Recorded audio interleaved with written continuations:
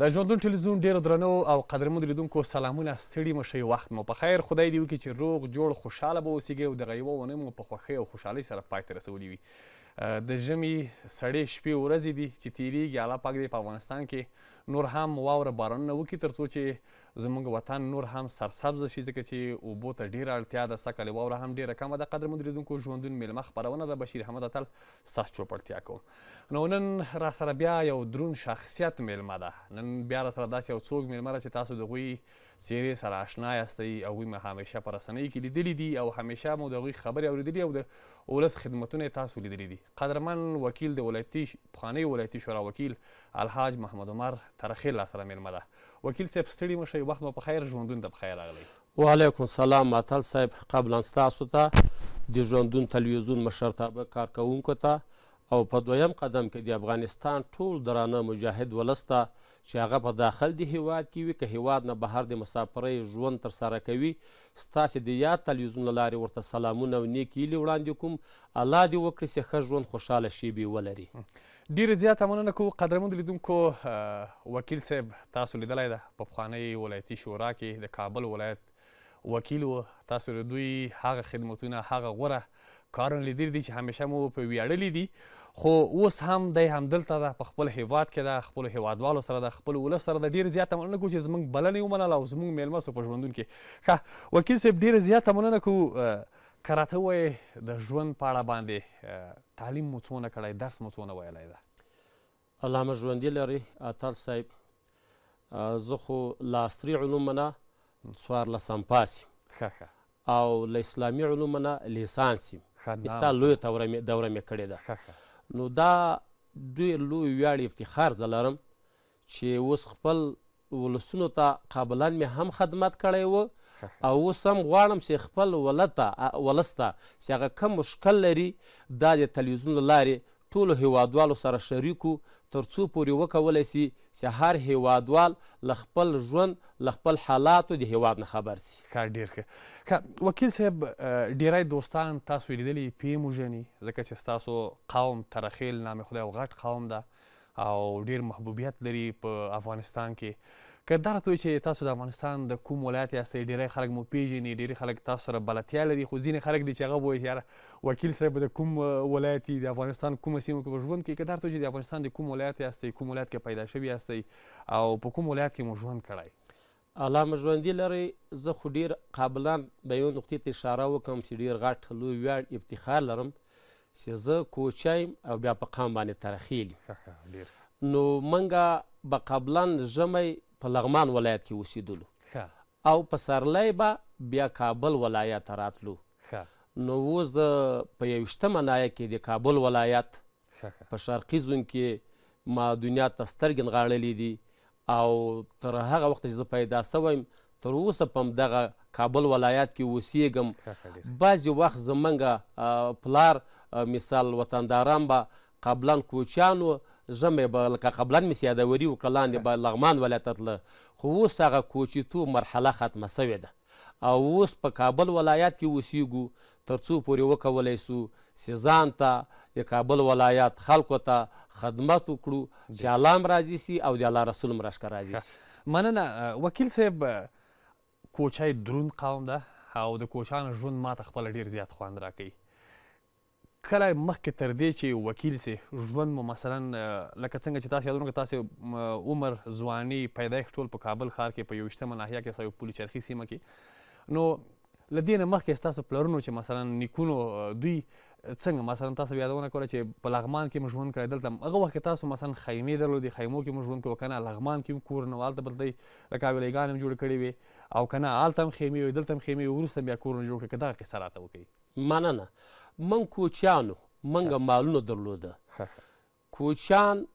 ډیر غټ ابتخارونه ویاړونه هیواد ته راوړي دي خو بدبختانه چې نظامونو په دې هیواد کې رقم رقم نظامونه تیر سوي دي کومه جدي پاملرنه نه ده ورته سوي ځکه د افغان افغانستان سرحدات کوچیانو ساتلی ده موږ به مالونه درلودل ژمی بسې لاړو لاندې لغمان کې به اوسېدو، خېمې به مې،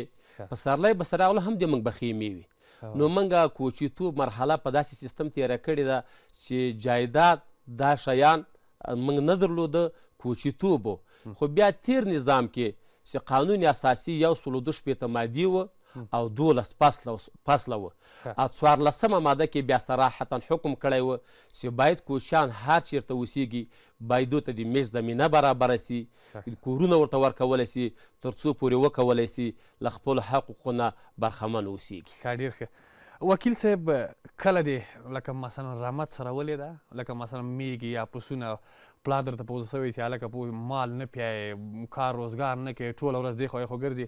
مثلا مال دې په وله څرول ځکه چې د کوچیانو ژوند ډېر مثلا د مال سره وي لکه اوښان یې آسونه یې مېږې رمې نه وروره واقعیت خبره یی زه سی کله پیدا سوی او و کلو ته ورسیدم بیا ما تعلیم شروع ښه تعلیم یې سی تر لس پنځلسو کلو پورې وکړو و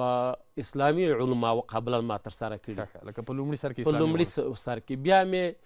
عصري علومو ته ترجیح ورکړه بیا سې کله ته یو جای پورې ما ځان ورسو لکه قبلا مې سې یادوري وکړه بیا د افغانستان ولس غواړي چې اوس یو مشر ولري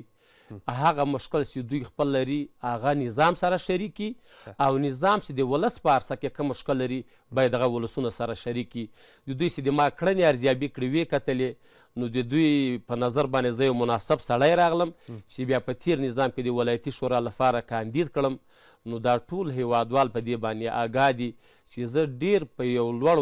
رایو باندې کامیاب سوم او زه د کابل د ولایتي شورا وکیل سوم او تر څو پورې مې وکولای سو چې خپل ولس مشکل هغه تیر نظام سره شریکو او نظام چې د ولس په ارسه کې څه مشکل درلودو چې هغه سره شریکو نو ان شاء الله ډیر ښه وخت مو تیر کړی دا خو چې لکه تکرارا یې وایم مالونه هم نه دي څرولي خو مالونه هم درلودله درلودله د کوچانو ژوند دې خوښیږي او که مثلا د ښارمېشتو خلکو ژوند دې خوښیږي آیا د خیمو ژوند خوند درکوي که دغه عادي نورماله ژوند چې په کابل کې خلک کوي دا خوند درکوي زه به یوې نقطې ته اشاره وکم چې پیغمبر علیه السلام د کوچانو عمر ډېر ښه ترجیح ورکړې ډېر ښه یې ګڼلی خو په یو دلیل باندې ښه نه ده ګڼلی چې هغه علم نه پس پاتې کیږي کوچي توب ډیر یو ښه آزاد ژوند یو ښه عمر په سړي باندې تیریږي هغه خپل مال او کار او بار سره سر وي او دغه کم ژوند چې د کورونو دا دومره د ما نه خوښیږي واقعیت خبره وي ځکه دا سړی پکې قایت وي او کوچي توب خو کولای سي چې مثال کابل ولایت نه لغمان ته لاړ شي لغمان نه ننګرهار ته لاړ شي ننګرهار نه نورستان ته کونړ نه هغه یو آزاده ژوند ده خو په یو دلیل باندې چې بیا کیږي سړی ته لږ ذره ته ناراضه ناراضي ښي هغه له علم نه پاس پاتې کیږي که د علم ته ترجیح ورکړي باید چې سړی مېشت ژوند ولري ښه تمامېږي او که بیا داسې ازاده ژوند ته ترجیح ورکړي کوچیتوب عمر ښه ده. بلکل ښه وکیل صاحب تاسو هغه وخت کې مثلا کوچان وئ تاسو ویل چې موږ به لغمان کې موسیدو کابل کې به موسیدو مکتب دې څنګه ولوسته په څو کلنۍ مکتب ته داخل شوې تا مخکې دا نو چې و کلن وم زه مکتب ته داخل شوم مکتب چې کله شروع کړ په کوم ځای کې شروع کړ په دې مثلا تګ راتګ کې چې تاسو تلئ راتلئ لغمان او جلال آباد ته ځکه چې کوچانو ژوند ډیر مثلا په یو ځی کې نیم ژمی په ګرمو ساحو کې او وړی په یخو ساحو کې کنه لکه تا مکتب څنګه وویلې په کوم ترتیب دی مکتب وویلې مکتب خو ما خصوصي درسونه یې لیدي ښه لکه مثال پولیچرخي په اهلي لیسه کې مې درس یې لیدا زمنګ په پروژه کې مثال درې سوه او درې اویا مسجته دي، اوویس مدرسې دي، درې عالي لېسې دي، نور خصوصي مکاتب دي، دا ته مېلې دي، خو زه سې بیا کله فارغ سوم په احمد شاه بابا مینه کې رحمانزی یو ښونځی ده چې هغه نه بیا د څوارلسم اسناد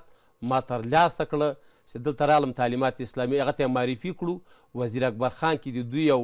شعبه وه د امتحاناتو همدالته راغلم ددې نه فارغ شوم خو د اخري د څوارلسم نه چې فارغېدم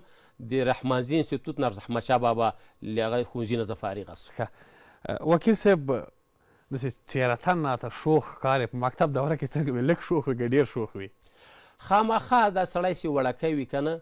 یو څه خامخا شوخي به لري خو د خدای شان ده دا زه فطري همداسې يوم هسې خدای پيدا کړی وم داسې شوخي مې نه خوښېدله په دې باندې زه منم چې زه یو ډیر ښه بااستعداده ورزشکار هم یم د دې ترڅنګ او تاسو فیسبوک پاڼه مو د غدي ورزش برخه کې خیر پښتنې کو ورسته او مولا هم ما خو زه په دې دمه چې شوخي نه چې نه جوړیږي چې زه کله پوسم ما فوکس په شي شي وکاوه هغه په عصري علوم باندې مې وکاوه په اسلامي علوم مې وکاوه چې زه پوهېدم که موږ غواړو چې خپل هېواد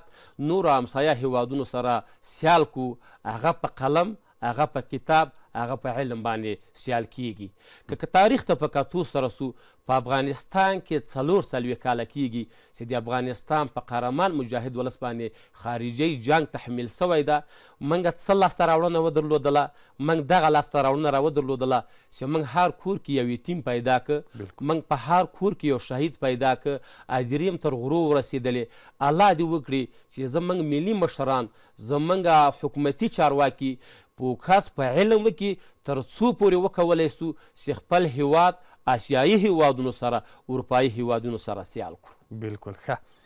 د مکتب د دورې کومه داسې خاطره دې ذهن کې پاتې ده چې تر دې اوسه پورې هم هلکان یا ملګري دوستیان صنفیان یې درته یادوي چې یاره ډېر شوخ وي دا کار دې کړی یا ډېر عاجز وي داسې یو کار دې وکړ چې موږ همیشه هغه یادوو اوس هم هغه ملګري در باندې ویاړي یا مثال درته خاندي چې یاره څه یو کار دې کړی و وکیل صاحب؟ که ميلاند کښې کله به زه د مکتب دوره کښې درس به ميلي نو حتماً همصنفيان دا د همصنفتوب يوه ډېره ښه انډيوالي وي. بيا به کله چې تفريح وخت راغی مثال يو انډيوال به هم له ټوقو لاندې راونيو په هغه به هم ګپ جوړ کړو بل به په بل باندې ګپ جوړ کړو لږ زره به هم يو بل سره په عذابولو هغه هم داسې اوس کله کله راسره مخامخ شي دوی خاندي يوې نقطې ته اشاره کوي چې کله په سبا باندې زما په وزیر اکبر خان کې امتحان و چې نو دلته په دا شپه باندې واقعیت خبره یې دومره ډیر تشویش کوم چې په هغه شپه ما ډیر خوب ونه کاوه هغه کم سوالونه چې راکړي په هغو باندې موږ ډیر کار وکاوه چې موږ سبا ته وکولی سو چې یو څه لاسته راوړنې وکړو او خدای ناکار داسې نه چې دا دومره وخت هم تعلیم کړی سبا که ناکامه سو خدا دې سړي بسه باید دا ژوند زړه بدیږي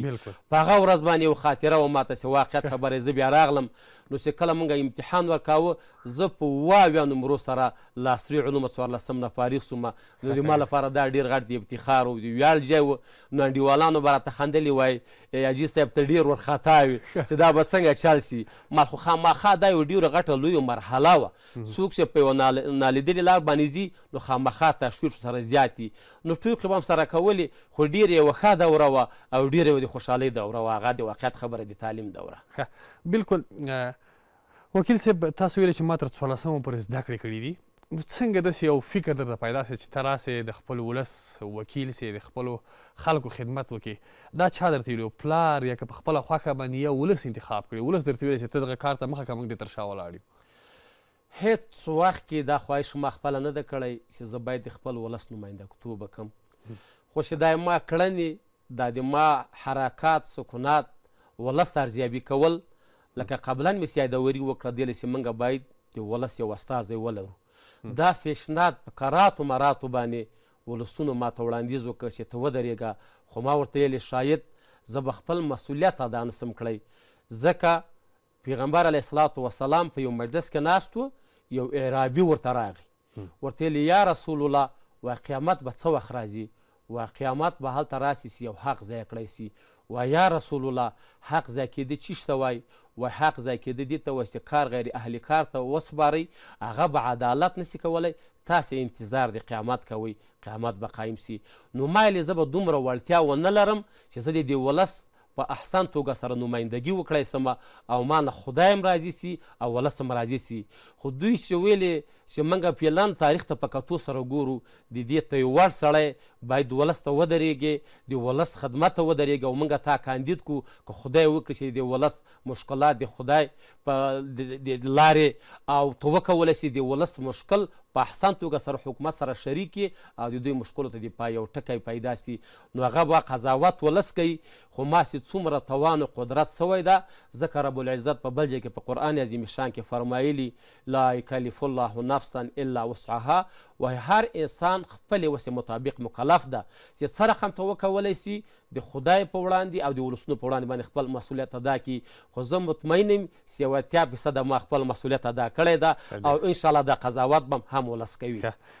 ډیر زیات مننه کو قدرمن لیدونکو یو لنډه دمه اخلو بیرته راګرځو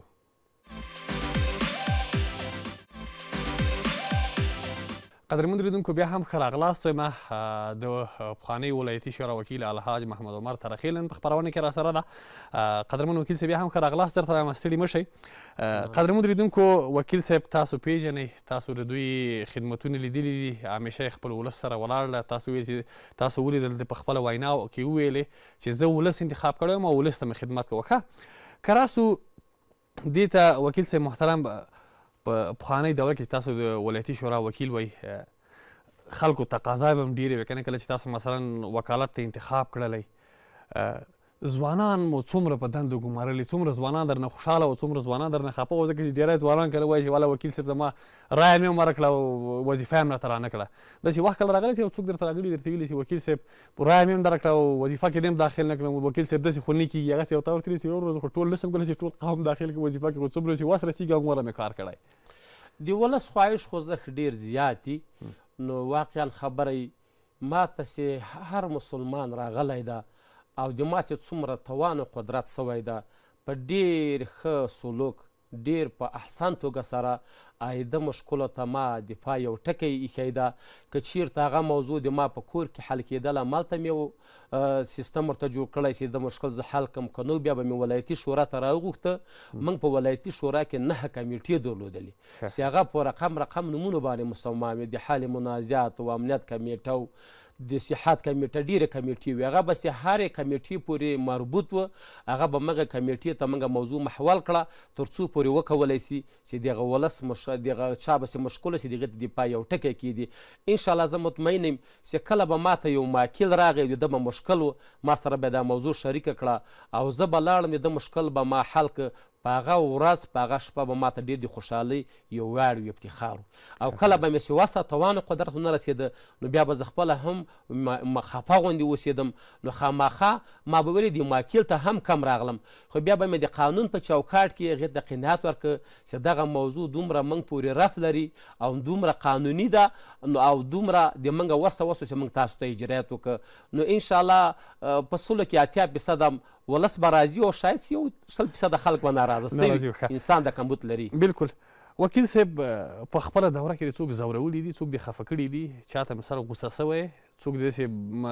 دردولي دي چې ورته په غوسه سوی چې هلکه دا کار دې ښه نه دی یا دا کار مه کوه یا دې مثال یو چاته داسې یوه خبره کړې چې هغه درنه خفه سوی؟ ان شاء الله ستاسې د ژوندون تلویزیون نړیوال نه ما خلک ګوري چې دا به په تاریخ کې څوک ثابت نه کی چې ما څوک خپه کړي انسان دا که چاته په غوسه سویم هغه به یو شرعي یو قانوني بڼه درلودله چې ما ورته ویلي چې دغه کار دی په دغه قانون سره دا خلاف ده دا مه کوه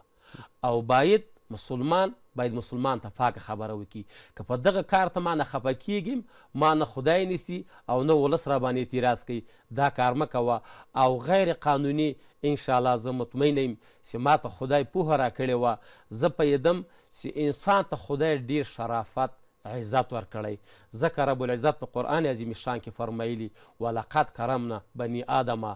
الله وای ما انسان ته شرافت عزت ورکړی ده او چې الله عزت ورکړی باید انسان ته سړی په احترام باندې قایل سی که څوک نعوذ بالله د الله کور روان کی خدای دومره نه پې خپه کیږي لکه انسان چې څوک خپه کی ځکه د الله کور چې ده بنده جوړ کړی ده او بنده چې ده خدای جوړ کړی ده خدای په خپل مخلوقات باندې ډیر خپه کیږي ټولو هیوادوالو ته مې دا پیغام ده فعلي نظام ته مې دا پیغام ده چې انسان ته خدای چې عزت ورکړی باید د عزت په سترګه ورته وکتلی سي او هغه حق چې دوی ته خدای د خدای رسول ورکړی باید په احسان توګه کې ورته ورسو که نیسو رسولی ډیر په احترامانه ته خبره ورته وړاندې کو چې موږ په وس پوره نه ده باید مسلمان هیڅ څوک خفه نه کی بالکل ښه کراسو پوښتنه ډیر وکیل صاحب کراسو دیته څو وادونه مو کړی دي ودونه خو موږ دوه ودونه کړي دي نو ځکه رب العزت په قرآن عزیق میشان کې فرمایلی دی اعوذ بالله من الشیطان الرجیم بسم الله الرحمن الرحیم فانکحوا ما طاب لكم من النساء مثنى وثلاث ورباع فان خفتم الله تعدلوا فواحده الله جل جلا جلاله اوله فرمایلی په اول کې چې تاسو دوه ودونه وکړي درې وکړئ، څلور وکړئ، که چېرته هم توان او قدرت نه و او عدالت هم نه سو تامین کولای، بیا په یوې باندې اکتفا وکړئ. نو مونږ دویم ماده په دې خاطر سره کړی چې مونږ څه د اولاد یو مشکل و، نو بیا هم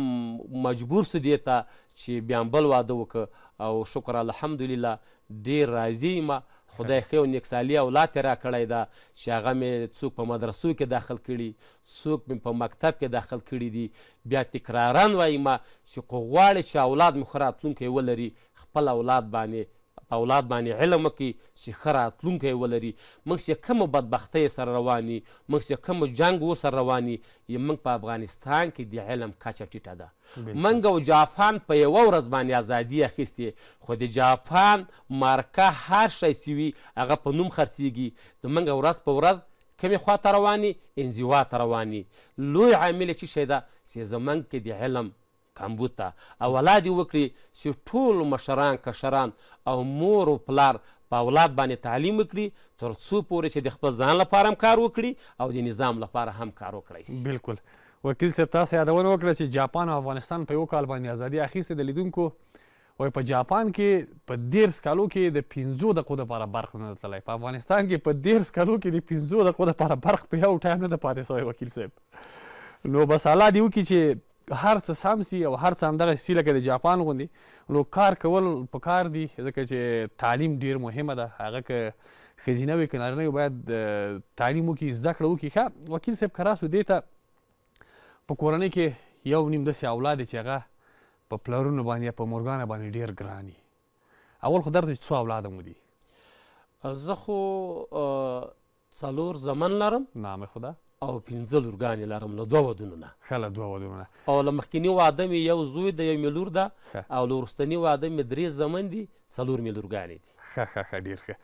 نو په دې کورنۍ کې کوم اولاد ډیر در باندې ګران ده چې دا ورسې وس دروازې خولې ته په غم ګرانې په تام ګران چې دا څنګه ورځې بس راسي چې پلار مې راغی یا اجي صاحب مې راغی مثلا ډیر در د محترم او ته مرته ډیر محترم یا اولادونه خو ټول محترم دي ټول په پلارونو باندې ګران خو یو نیم به دې سي چې هغه بيخي بیا زیات ګراني مننه ژوندې اوسې اتل صاحب په دې باندې خو تاسو خپل آګاه یاستئ سي کشر اولاد پلار ته ډیر ګران وي او پلار باندې ډیر شفقت هم کوي چې پلار راشي نو دی خامخا وایي چې ماته به چا یو موټر یا راوړی یا به یو څه میوه ماته راوړي مخې ته راځي او په دویم قدم کې پلار باندې هغه اولاد ګران ده چې هغه علم کوي هغه نیک عمل کوي خلکو سره ښه برخورد کوي هغه اولاد په سړي باندې ډیر ګران وي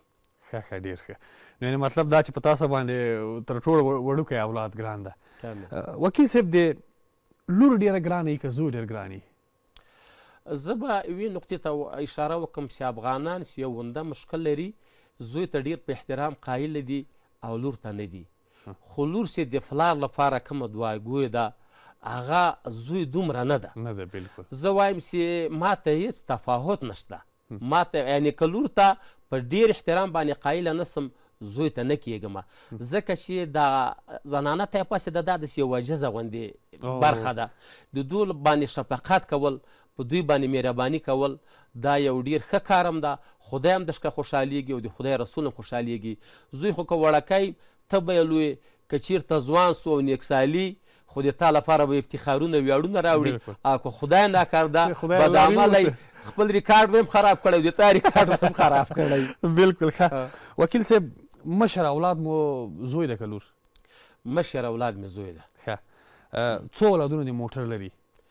موټر يوم نه لري زه دا اجازه نه ورکوم اولاد باندې سي اولاد دې ما موټر وچلي زه اولاد باندې دا پوکس کوم سي تاسو کوشش وکي اسلامي علوم او عصري علوم تر سره کړي چې کله اسلامي علوم او عصري علوم تر سره کړه بیا تاسو ته موټر خپل پیدا کیږي تاسو بیا خپل کار کولای شئ که دا اوس چیرته ته په موټرو باندې اخته کې علم نم پس پاتې کیږي دا اسی یو په بل هوا باندې کیږي موټرو اجازه زه اولاد ته نه ورکوم د دوی په موټرو کې وګرځي او موټر ځان ته واخلي ښه وکیل صاحب ځکه چې وکالت مو کړی معاش به مو ښه و تقریبا په ټوله کې څومره سرمایه به لرئ که زه حقیقت درته ووایم نو دا ټول هیوادوالو ته معلومه ده چې زه پیلن خپله سي هغه وکیل نه وم ما یوه وجره جوړه کړې وه د ولس لپاره او یو مې شخصي کور ده نور هیڅ چای په مابین کې نسته او یو موټر د فعلن لپاره لرم قبلا نظام کې مې دوه موټره و اوس خو ته ښه پوهېږې چې دغه نظام دا ډېرو موټرو سره شیدیانې نه لګېږي بالکل او اوس لازم هم نسته لکه هومره چې خطرات قبلا نظام کې و چاودنې انفجار و اوس دومره خطرات هم نسته یعنی زه اوس هم لنکروزر موټر کې ګرځم یعنی باډیګټان را سره سته کم فرق ما کې نه درغلی که ما ته اوس تاسو په مخه راستی بل ورځ په یکتوت موټر شوی کې ما موټر فریمین ته موټر شوی ته مې راوستلی و یو څه ځوانان ولاړو ځان سره غږېده ما ته وکیل صاحب اجازه ده موږ یو تاسو سره یو خبره کوو مال وکه خبره وکه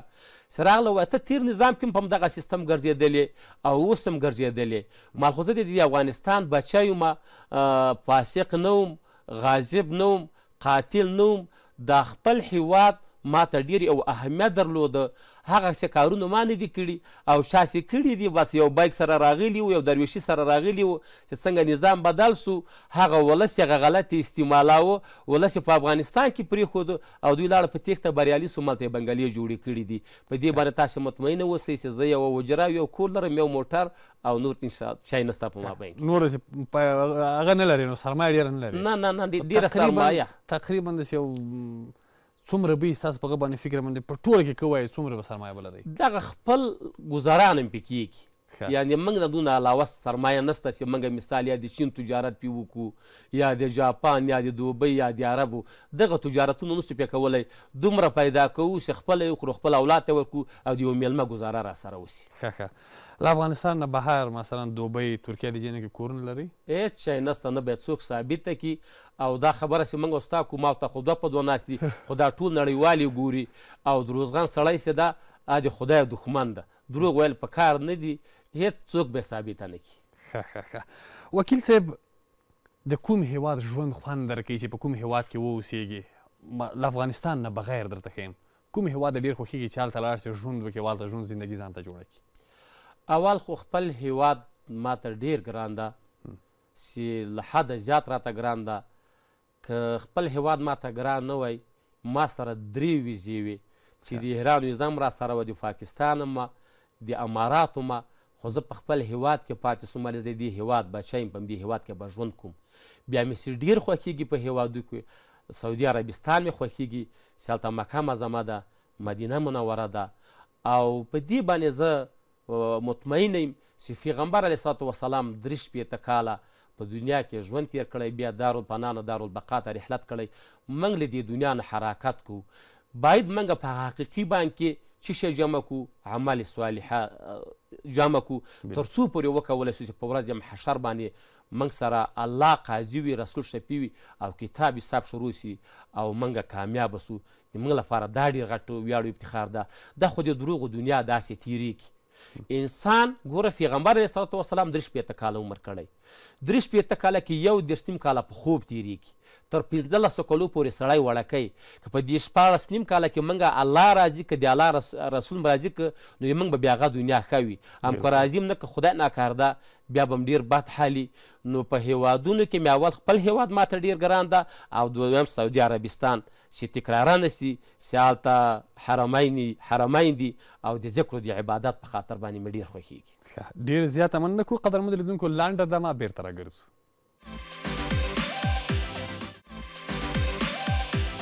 قدرمن لیدونکو بیا هم ښه راغلاست وایم ژوندون میلمه خپرونه ده د پخوانۍ ولایتي شورا وکیل الحاج محمد عمر ترخیل را سره میلمه ده وکیل صاحب بیا هم ښه راغلاست وایم ډېر زیاته مننه کوم چې په خپرونه کې را سره برخه واخیسته او نن په ژوندون کې ما سره میلمه وکیل صاحب کله چې تاسو وکیل وای د ولایتي شورا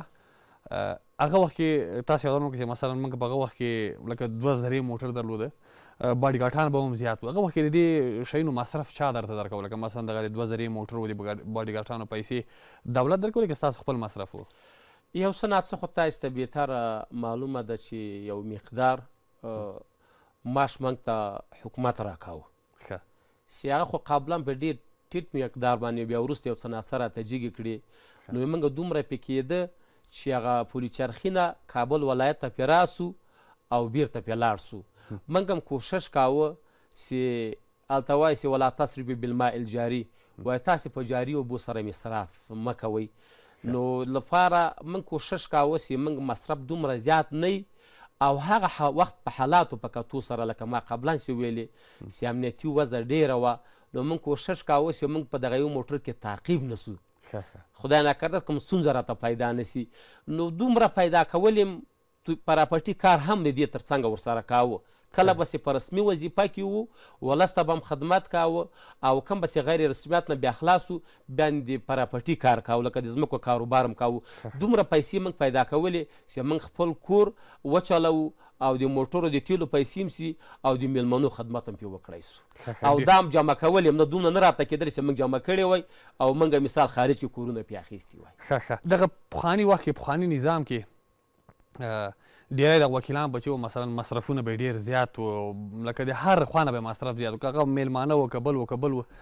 اوس مصرف کم کړی دی که اوس مصرف هم د پخوا په شان باندې ده ډیر تغیر کړی ده ډیر تغیر کړی لکه عمر عمر ماکلین چې منګه درلوده عمر ماکلین اوس نه لرو هلته خو موږ وکیلان وو ولس به راتله چې کوم مشکل به یې و هغه به یې موږ سره شریکاوه موږ به مربوطه مرجع سره د دوی مشکل شریکاوه اوس خو داسې یو نظام راغلی ده چې هر سړی خپل مشکل لري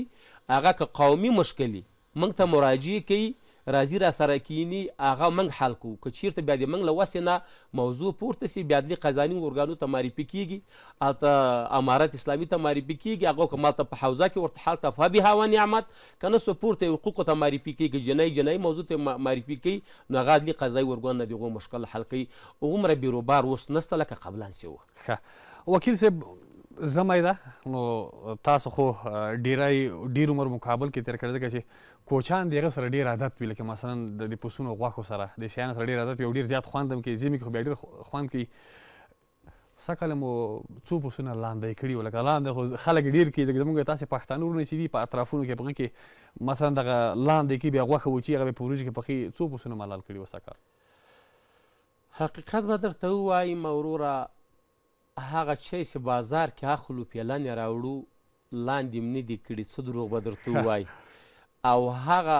رقم چې قبلا د خلکو روزګار جوړ و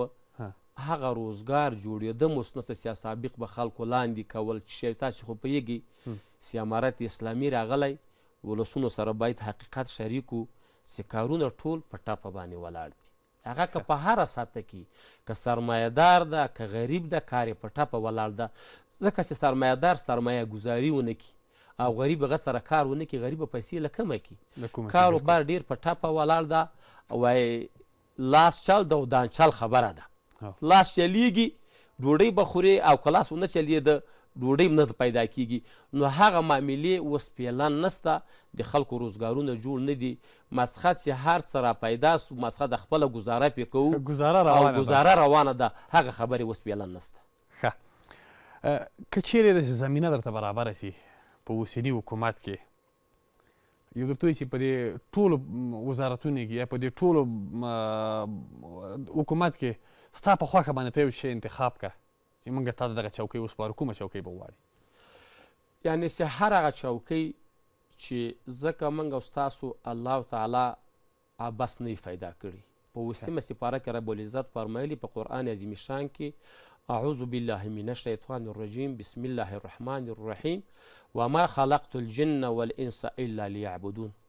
الله وای ایا فیران او انسانان ما نه دي پیدا کړي مګر د دې لپاره مې پیدا کړي چې هغه ذکر او عبادت وکړي د دې تر څنګه څوک چې ولس ته خدمت کوي هغه هم په ذکر او عبادت کې حسابیږي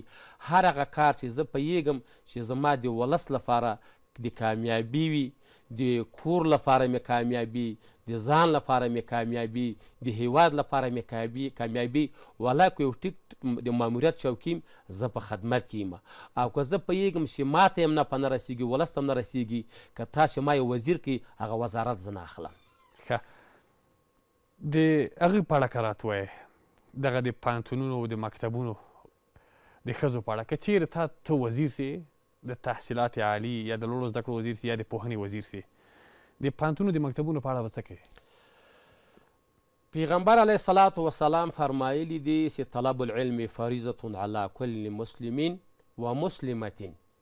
په اکثره جای کی مسلم مسلمین راخیستی خو بل یو کتاب د علماء کرام په پیږی سی یوه مسلمتین ښځه هم پکی راخیستی د ما به اول معیار دای سی زه به ډیر فوکس په علم باندی کوم اولو که مردانه وی که زنانه وی دا موږ منو امارت اسلامی د ټول افغانستان اراضی د دوی په لاس کی ده زه یو خواهش تری کوم یو پیغام ورته لروم موږ سی په کور کی مریضه پیدا سی زنانه ایا دا زه ډاکټر ته بوځم که دا زه ډاکټرې ته بوځم چی زمونږ زنانه تعلیم ونه کړي خو زه مجبور یم زه به خپله زنانه ډاکټرې ته ډاکټر ته ولم کنه ایا ما د خپلې ښځې حقوق واخیسته که ورمې که خو ما خپل حقوق دې واخیسته امارت اسلامي نه مې میله خواهش دا ده چې د زنانو لپاره د زمینه د تعلیم برابره کړي افغانان ټول مسلمانان دي په تیر نظام کی زمونږ تاسی زنانه په حجاب کی وی وای بعضی خلک به وو دا مونږ نسو ویلی خو افغانان سی دی ډیر یو غټ عزت لری هغه اسلامی ارزښونو ته قایل دی نو که زه چیرته وزیر دی علی تحصیلات سم یا د معرف سم د ما با اول معیار چای چې زه به پانتونونو باندې په مکتبونو باندې په مدرسو باندې به ډیر فوکس کوم تر څو پورې وکولای سو چې ټول هیوادوال په علم باندې سمباسي کله چې هیوادوال په علم باندې سمباسو موږ به یو ښه افغانستان ولرو موږ به یو ښه راتلونکی ولرو ښه ډیر ښه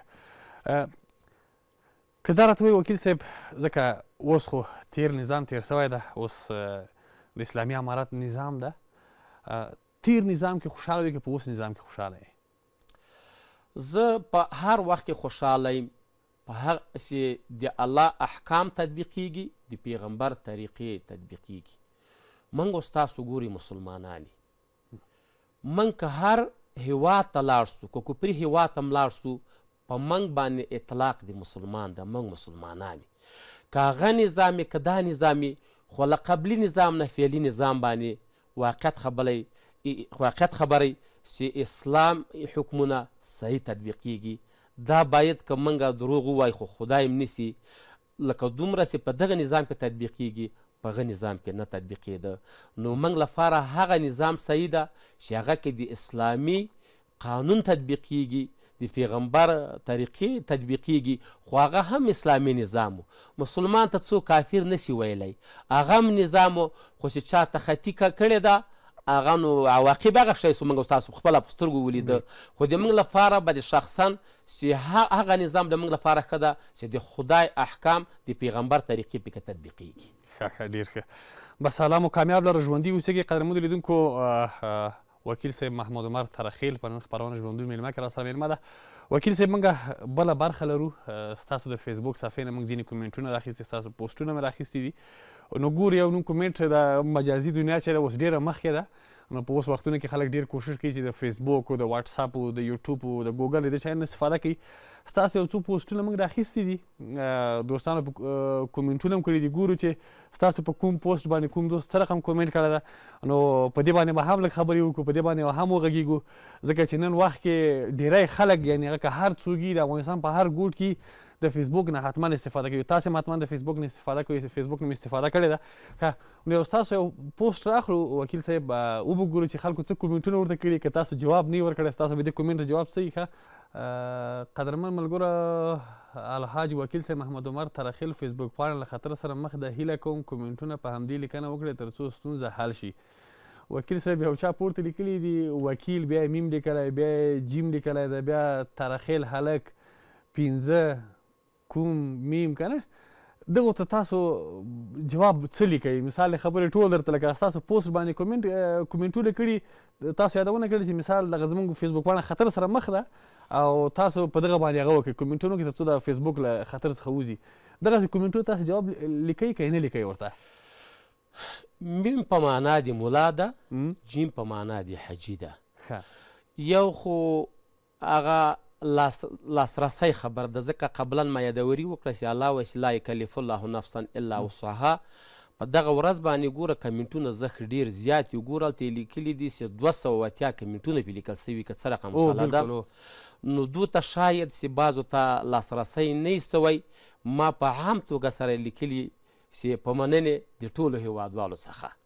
ښه ښه. او که مې چیرته فرصت پیدا کړی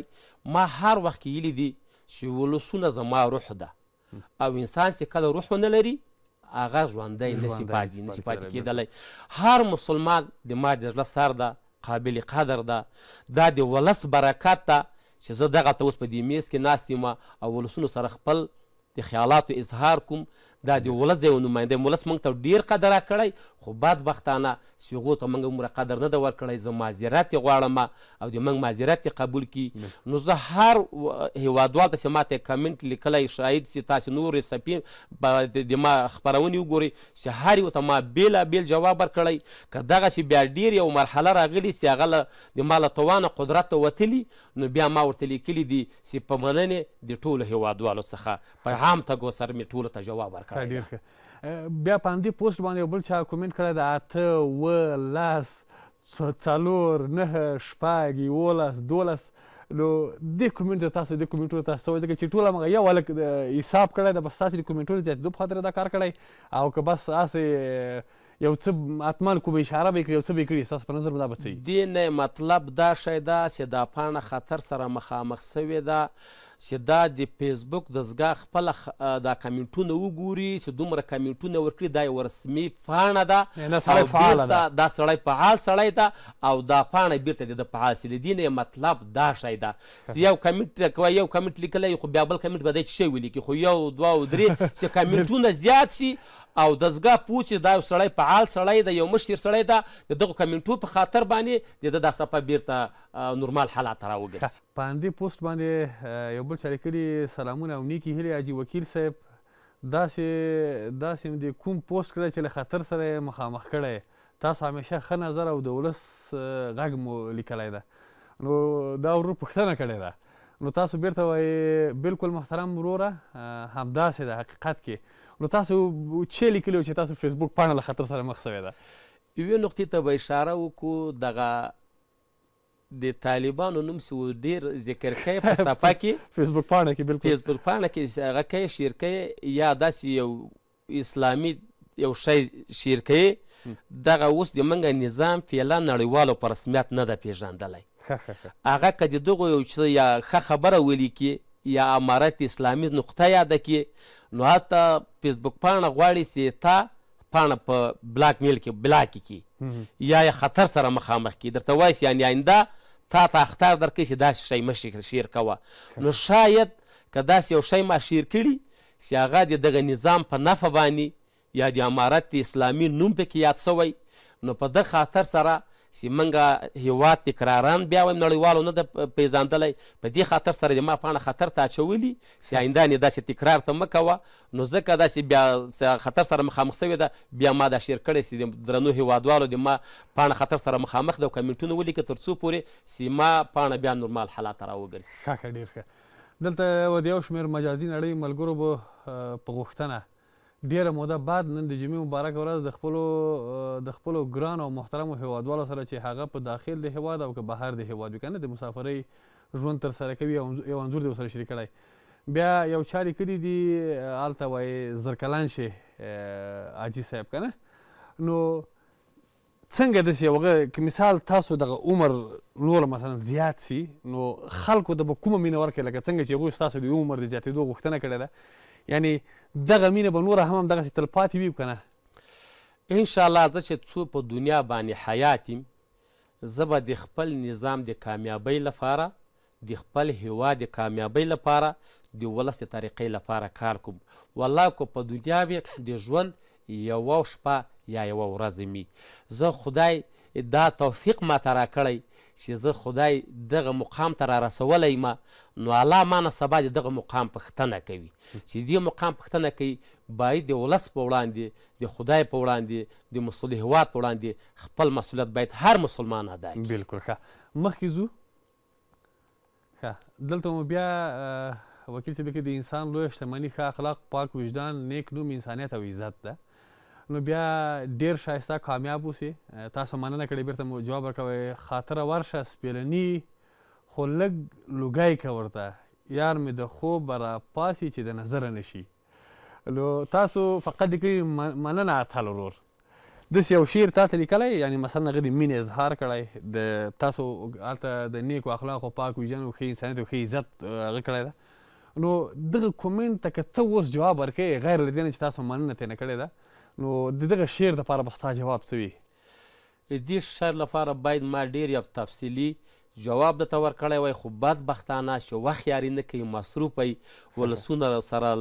جنجالونه لري خلک راځي نو موږ مختصره دای مې پوه کړی چې مننه مې ترې کړې ده نو ما ځکه دغه عکس شیر کړی ده بعضې وخت دا عکس د دې لپاره زه شیر کوم چې دا بعضې هېوادوال اکثره وکیلان دې مونږ له هېواده وتلي دي نو بعضې وخت زه یې واقع شیر کوم په افغانستان کې چې دی پوه شي چې ملا محمد عمر ترخیل په افغانستان کې ده او بیا هم د خپل ولس خدمت کې ده که ژوندی بیا هم خپل ولس ته خدمت کوي چې څومره یې وس دی انشاءالله. ښه ډېره مننه وکیل صاحب خفه غوندې شوې داسې سترګو کې دې لږ ګورم داسې خفګان راغی اوښکې د سترګو کې راغلې ولې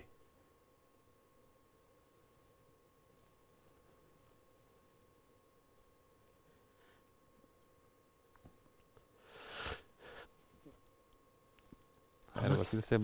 موږ ته ولس ډیره مینه راکړې خو بدبختانه موږ ولس ته هېڅ ونه کړه موږ ته ولس دومره مینه راکړې واقعیت خبره ده موږ کړنې که دوی ارزیابي کړي موږ دومره نه دي کړي خو ولس ته زه ډیر ګران یم ځکه دا کمنټونه ته وګوره یو منفي کمنټ په ته پیدا نه کړي واقعیت خبره خو ځکه موږ چې هغه چای ولس مشکل پیدا سوی موږ ته مراجعه کړې ده وکیل صاحب خفه کیږئ مه بس دا الله مهربانه ده بس خدای دې موږ ټول په افغانستان ورحمېږي او خدای دې په ټول ولس باندې ورحمېږي نو بس ولس واقعیت خبره یي ولس ما ته ډېر ګران ده خو زه خپله پېږم زه خپله هم ولس ته ګران یم ځکه ته ګوره دا شعر چې لیکلی که نه دا د زړه یو اخلاص ما ته ښکاره کړی بالکل نو ولس سره دې بس خدای ښه وکړي او ولا دې په موږ باندې رحم وکړي خدای دې وکړي چې دا کم خدمتونه موږ کړي او دا خدای تایید کړي د خدای پیغمبر تایید کړي او ولس تایید کړي زه په خپل ولس باندې ډیر غټ ویاړ افتخار کوم بل خصوص په خپل تاریخي قام باندې چې ما ته ډیره مینه راکړې ده دومره مینه ما ته راکړې ده چې د هغې زه قابل نه یم چې دوی ته زه پوره کړم وکیل صاحب خفه کیږه مه تاسو خپل ولس ته خدمت کړی ځکه ولس مو دغسې نازي او دغسې ستاسو ستاینه کوي یعنی موږ ما چې ستاسو فیسبوک پاڼه ولیدله لیدونکو تاسو یقین په خدای وکړئ یعنی ما ډیری داسې وکیلان مې لیدلي ډیری داسې کسان مې دي چې هغوی ته خلک بدې خبرې کوي کنځلې ورته کوي نو ما چې کله د وکیل صاحب فیسبوک پاڼه ولیدله یعنی هر ځوان ورته لیکلي چې ویاړ مو خوشحاله اوسېږي رئیس صاحب وکیل صاحب نو وکیل صاحب تاسو ویاړ یاست خفه کیږئ مه بس اوښکې مو پاکې کړئ دا ولس ستاسو تر شا ولاړ ده او ان شاء الله چې دغه ولس به همیشه ستاسو تر شا ولاړ وي قدرمن لیدونکو وکیل صاحب مو په اخر خفه کړ اخر کې وکیل صاحب په ژړا سو وکیل صاحب خیر ده بس نو دا د ولس مینه ده دغه تاسو خپل ولس دی د ولس قدر ده چې تاسو دغه ولس سره مینه کړې ځکه ولس اوس د پلان ډېر یو فقر او غربت سره مخامخ ده داسې یو خامخا سړی مایوسه کېږي. بله ورځ یو سړی راغی، د ما دروازه یې راوټکوله. هغه ما یو پنځوسي ورکړه، زوی ته مالدا ورکړه چې غریب یو پنځه ډوډۍ واخلي. بیا لسي وکیل صاحب ته وویل چې تا سره مې لږ زره کار درته راس چې وروته مې یو ماشوم نو ده ماته ویل چې موږ ډېر فقر غربت سره لاس و ګریوان او که ته موږ ته په دې کور کې یو کار برابر کړي یا کاسې پرې مینځو یا وجره پاکه کړو چې موږ بېګۍ فامیل ته لږ زره ډوډۍ سو یو شی سو نو واقعیت خبره الله دې په موږ باندې رحم وکړي خو بیا په هر تقدیر زه به په دې اکتفا وکم چې رب العزت په قرآن عظیم شان کې فرمایلی دي اعوذ بالله من الشیطان الرجیم بسم الله الرحمن الرحیم ان الله لا یغیر ما بقوم حتی یغیر ما بانفسهم خدای وایي زه د یو قام حالات نه بدلوم تر څو پورې چې دوی خپل حالات په خپله سره بدل نه کړي شاید موږ به مقصر الله به راشکه ناراضه دی الله رسول به ناراضه سي ولس د سي فقر او غربت سره مخامخ ده خو ولس ته بايم بيام يو پيغام ورکوم سي دغه نظام چي راغلی دام يو نوی نظام ده دا په هغو معيارونو باندي تتروسه نه ده عيار سوی چي تاسي څومره ايله او اميد ورته لری که په ښه معيارونو باندي عيار سي تاسي ته به هر څه خدمات ارزه کي او يو سړی سي له يو جای نه کور بل کور ته بدلوي نو خاماخا یو موده مشکلاتی او سیلی نه کار واخلی تحمل نه کار واخلی پیغمبرانو باندی فقر غربت راغلی ده زمونږ هیواد خارجیانو نړیوالو بلاک کی ځکه اچولی ده په دی خاطر چه تاسو اسلام څوک نه غواړی خارجیان خارجیان نه غواړی چه په افغانستان کی یو قایمه اسلامی نظامی چه هغه په هره معنا باندی د خدای احکام د پیغمبر احکام پکې تطبیق کړي کوشش وکړي مه ورخطا کیږي خدای مهربان ده چې افغانستان کې کار و بار روان ده هغه پروژو باندې کار روان ده په دې به کار شروع شي او تاسو ته به کارونه پکې پیدا شي او خپل اولاد ته او خپل فامیل ته به یوه نفقه برابره کړي ان شاء الله ان شاء الله الرحمن ډیر زیاته مننه کو وکیل صاحب الله دې خوشحال لره ژوندی اوسېږي خپل زړه درد دې موږ سره شریک کړه او دا چې تاسو په ولس مین یاستئ، ولس په تاسو مین ده، دا ټولو ته د ویاړ ځای ده. په پای کې که په لنډو کې راته ووایئ، د اسلامي امارت د حکومت ته څه غواړئ، خپل ولس ته، خپلو هېوادوالو ته څه غواړئ چې په لنډه کې راته ووایئ؟ په حیث د یو مسلمان په حیث د یو افغان، امارت اسلامي نه مې هیله خواهش دا ده چې د افغانستان ټوله اراضي د ستاسو لاس کې ده او تاسې د ولس په وړاندې باندې مکلف یاستئ چې څومره توان او قدرت هم کیږي هغه که په هره عرصه کې وي که د کاروبار په عرصه کې وي که د علم د تعلیم په عرصه کی ولس ته یو جدی پاملرنه وکی د ولس په زړه باندی حکومت وکی په ولس باندی په زور حکومت نه کیږی په چین باندی دری لسیزه بندیز لګیدلی وو چه خپله یې ورکړه او راکړه په خپل مابین کی وکړه خپل نظام یې په خپلو پښو باندی ودراوه مونږ مسلمانان د افغانستان د بقا لپاره د دی نظام د بقا لپاره به کار کوو خو ان شاء الله بايد تاسې خپل ولس په غېږ کې ونيسئ او څومره چې وسه ورسېږي ولس ته د خدمت او ولس ته د کاروبار زمينه برابره کړئ تر څو پورې چې يو ښه افغانستان يو کاميابه هېواد ولرو.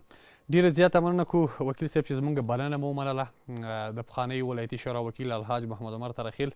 په ژوندون کې راسره مېلمه وو ژوندون مېلمه خپرونه تاسو ولیدله خدای دې وکړي چې له خپرونې څخه مو خوند اخیستی وي تر بیا مو چې زه خدمت ته درېږم په مهربانه خدای مو سپارم الله مو مل سره ښه وخت ولري وکیل صاحب په الله مو سپارم په مخه مو ښه صاحب الله دې ډېره زیاته ژوندی مننه کوم خیر خدای مې عزت سپور درکړه وطن مننه قربان سپور اوسه وطن په مخه مو ښه سپور ښه وخت ولرئ